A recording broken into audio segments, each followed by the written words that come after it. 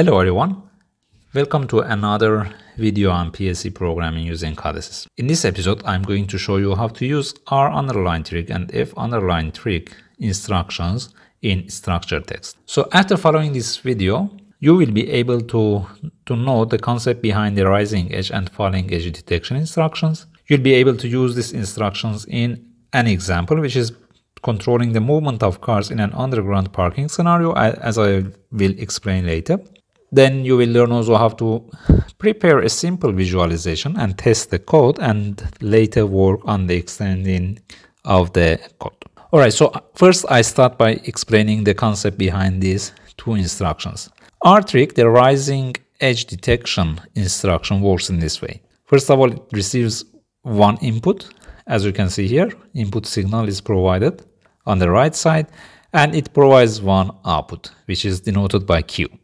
Whenever there is a rising edge at the input side of the instruction, we will have a pulse generated at the output. And that pulse will be quite short, it will be for one cycle only.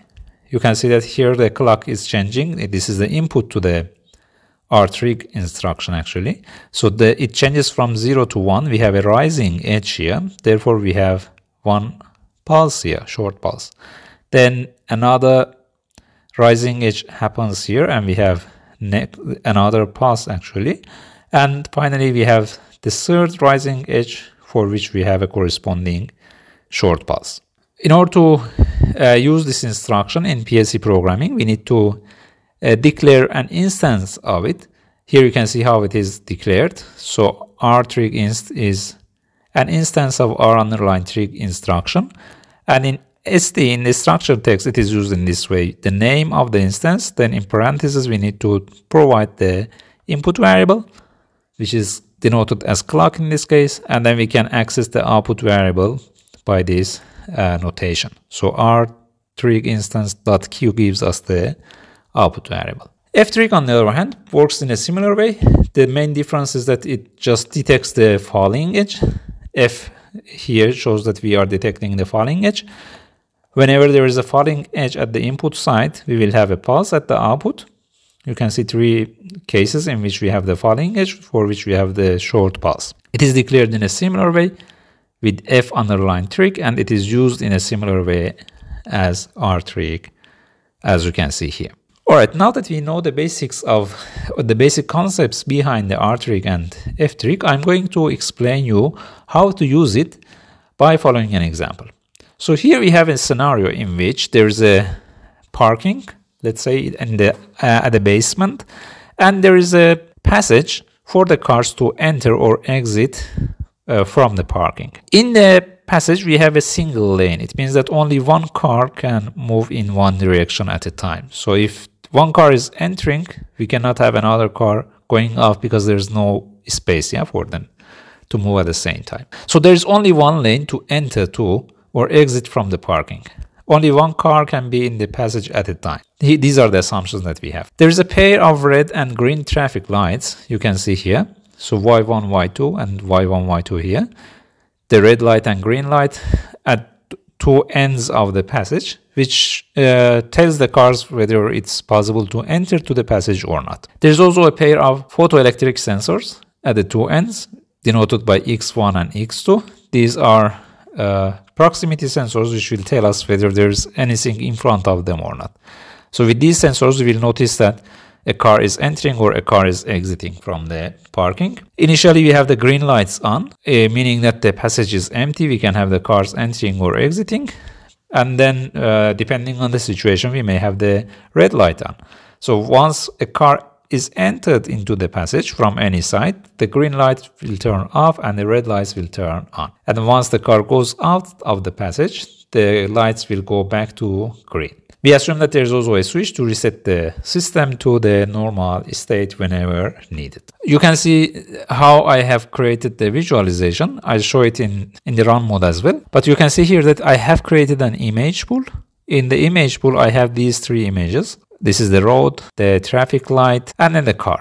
Uh, I have placed two sensors, sensor 1 and sensor 2 here, with which I will simulate that the car is entering into the passage or it's going out of the passage. And I also have this slider here which will determine the location of the car. So I will, as I move the slider manually, the car will move on the road. And then here we have the reset switch. These are the cases that we will have. So when we have car entering from sensor 1 side and exiting from sensor 2 side. Let's see what happens to the values that we have we, we would have for the sensors. Considering sensor 1, when the car enters into the passage, it will be sensed by sensor 1 and as far as the car is in front of the sensor 1 the value that you will get from the sensor will be equal to true and once it moves away or continues moving the value from sensor 1 will go back to 0 and it will remain 0. If we have a R trig and F, F trig instruction used with sensor 1,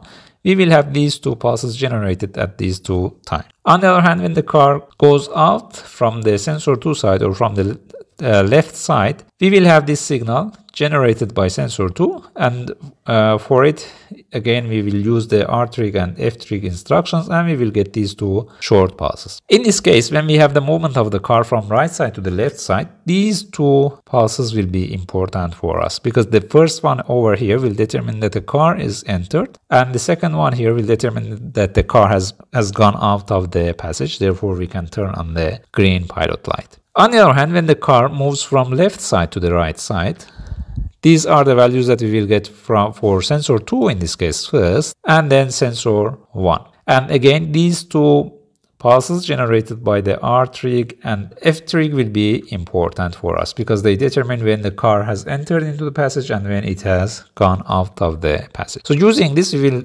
determine the state of the pilot lights. Here you can see the variable declaration area. I have sensor 1, sensor 2 as booleans, green light and red light as booleans. R01 and R02 are the boolean intermediate variables that we will use in the code. Then we have reset as another boolean. Car position is in the form of an integer. And then we have R trig and F trig declared two times, one for sensor 1 and one for sensor 2.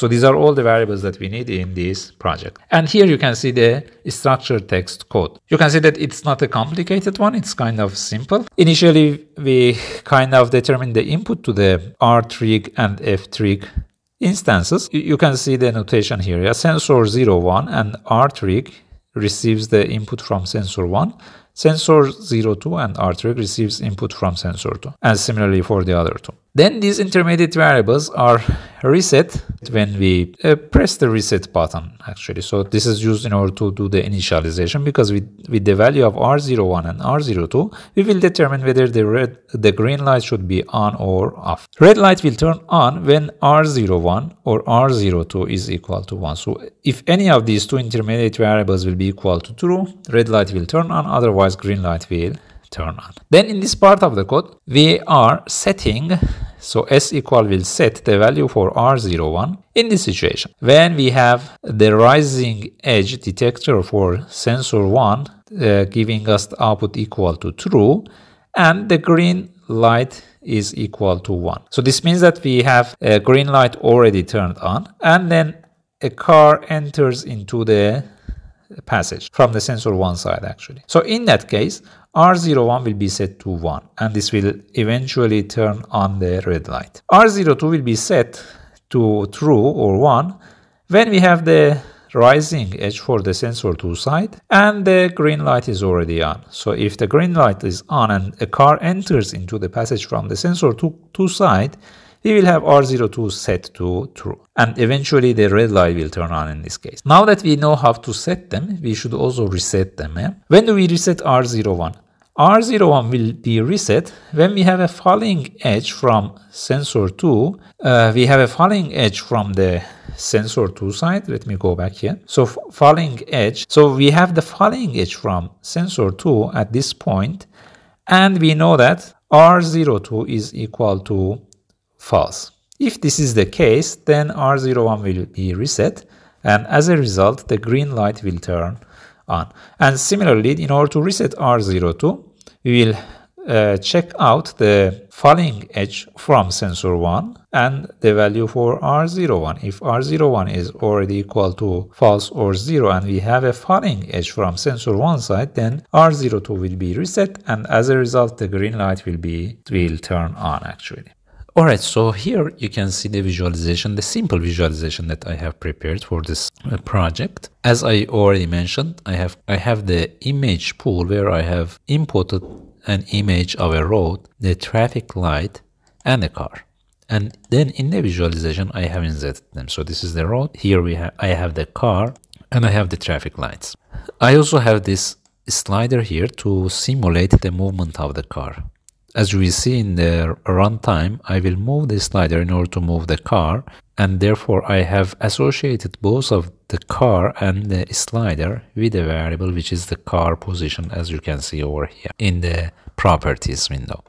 That's the same that's what I have for the slider and as for the car I have it over here. So the absolute movement and x is associated with the same variable. Then I have two sensors. The first one is here it's a push button. Both of them actually are push buttons. And I will show you how I will uh, use them. For each one, I have associated them with a variable. So sensor 1 for this one. And for the second one, I have associated with the sensor 2 boolean variable. And I also have this reset switch here. You can see that the variable associated with it is the reset. Additionally, for the uh, traffic lights, I have placed the image, but on top of it, I also have placed these uh, pilot lights or the lamps. I have chosen the green and red as for the colors for both cases and I have associated each one of the lamps with the green light or the red light variable. And now let me just uh, log in and run the, the project. So on the right side you see the visualization and on the left side you see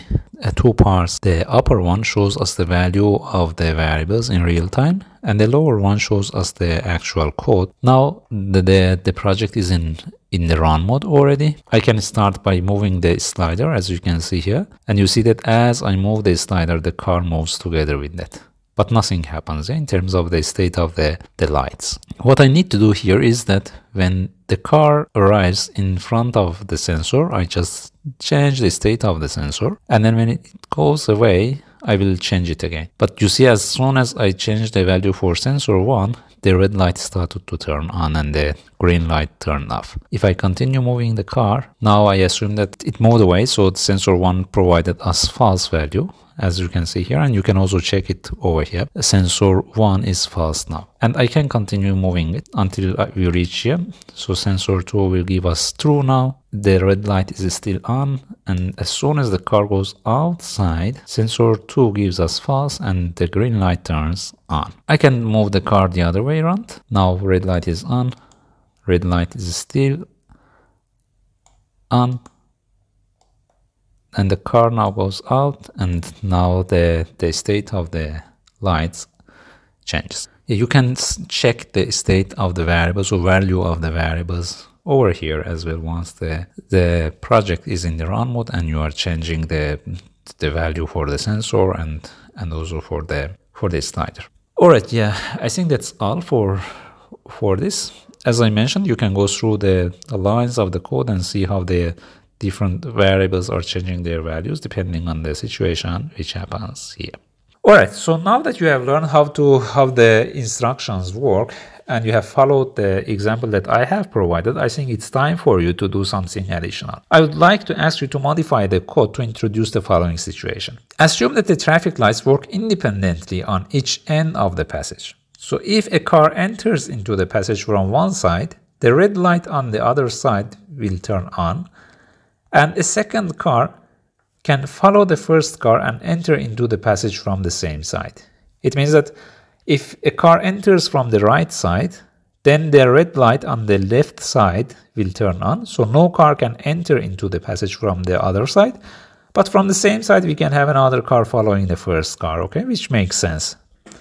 So as far as we have cars entering from the right side, they can follow. The, the green light will be on for them, but for the other side, it will be, uh, the, the red light will, will be on. And also please update the visualization to have the sensors change their value automatically depending on the location of the car which will be determined by the slider. You can apply these two changes and update the project. Uh, Alright, so that's all for this video. Thank you for watching this video and hope to see you soon in another episode. Bye for now.